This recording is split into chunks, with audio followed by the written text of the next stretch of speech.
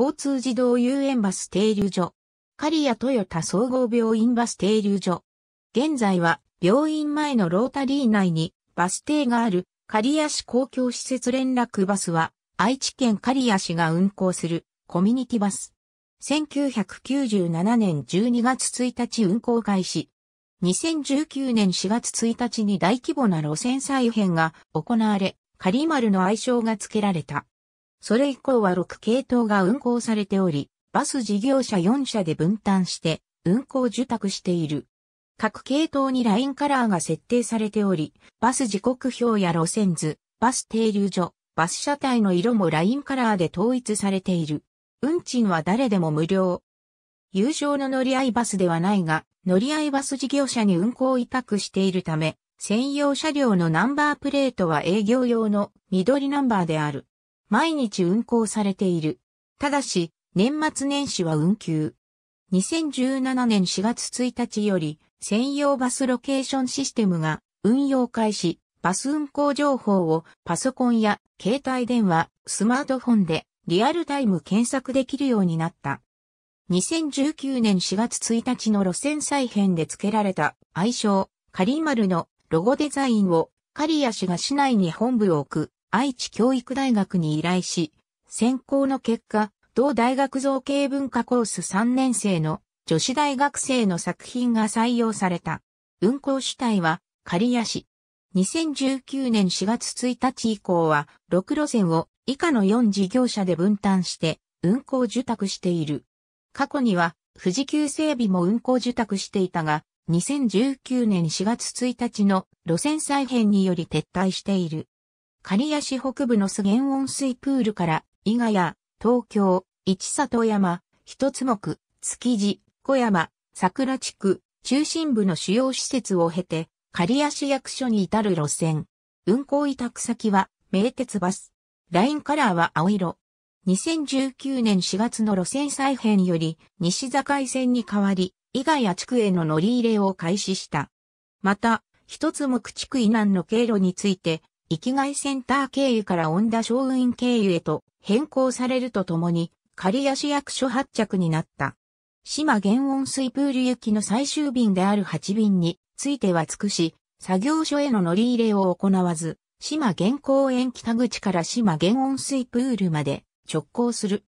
主な停留所は、島原温水プール、愛知教育大学入り口、刈谷ハイウェイオアシス、1、里山市民館、刈谷駅北口、ひまわり、刈谷トヨタ総合病院、刈谷駅南口、刈谷市役所。刈谷市北部の刈谷ハイウェイオアシスから、西境、今岡、今川、伊豆田、築地、重原地区、中心部の主要施設を経て、刈谷市役所に至る路線。運行委託先は、名鉄バス。ラインカラーは緑色。2019年4月の路線再編までは、島原温水プールまでの運転であった。早朝のひまわり行1便2便については、藤松図書館、刈谷ハイウェイオアシスを経由しない経路で運行をされていたが、路線再編後は、藤松図書館、刈谷ハイウェイオアシスを経由するようになっている。また、総合運動公園以南の経路について、恩田小運院経由から生きがいセンター経由に変更されるとともに、刈谷市役所発着になった。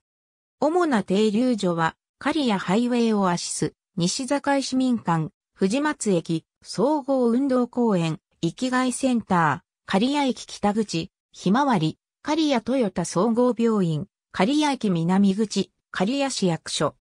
刈谷市中部の総合運動公園から、市里山、一つ目、築地、小山、桜地区を通り、ひまわりを経由してから、中心部の主要施設を回り、刈谷市駅に至る路線。運行委託先は、名鉄バス。ラインカラーは紫色。2019年4月の路線再編より、刈谷市役所から刈谷市駅まで延伸された。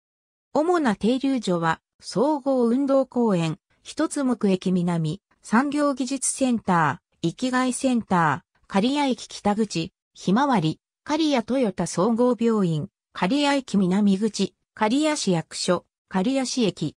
刈谷市南部の波状土町大原から野田、高須、繁盛と地区を通り、中心部の主要施設を経由して、桜、高津波、小山地区を経て、総合運動公園に至る路線。運行委託先は、対向タクシー。ラインカラーは赤色。2019年4月の路線再編までは、生きセンター前までの運行であったが、高倉町、日高町の区間について、当路線での運行になり総合運動公園までの運行となった。主な停留所は、波状土町大原、東刈谷駅南口、タンポポ、ひまわり、刈谷トヨタ総合病院、刈谷駅南口、刈谷市役所、生きがいセンター、総合運動公園。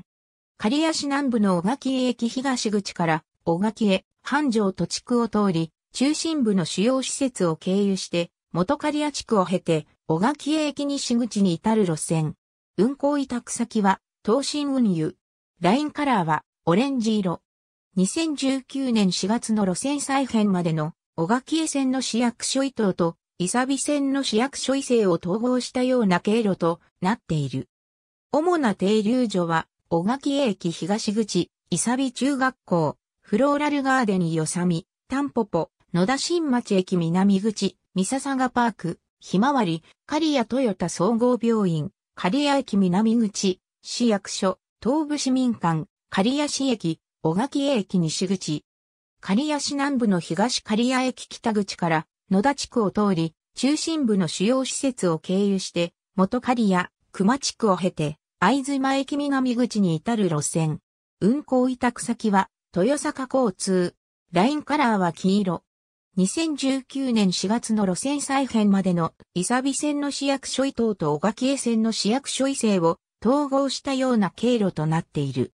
主な停留所は、東刈谷駅北口、野田新町駅北口、ウォーターパレス KC、ひまわり、刈谷トヨタ総合病院、刈谷駅南口、市役所、刈谷市駅、宝町三丁目、刈谷市体育館、会津間駅南口。2019年4月1日の路線再編で、一部の路線名が変更された上、系統番号が付与された。旧路線と新路線の対応は以下の通り。路線の歴史については、遠隔及び現行路線の各系統の解説を参照のこと。刈谷市商工課、都市交通課全車共通で専用塗装の中型車が使用され、各路線のラインカラーが車体色と対応している。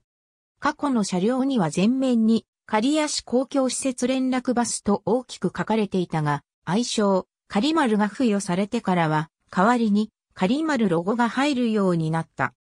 刈谷市は、トヨタ自動車の発祥の地で、トヨタグループと関係の深い土地柄もあり、日野自動車製の車両が使用され、過去には、日野、レインボー2が使用されていたが、日野、レインボーに代替されている。ありがとうございます。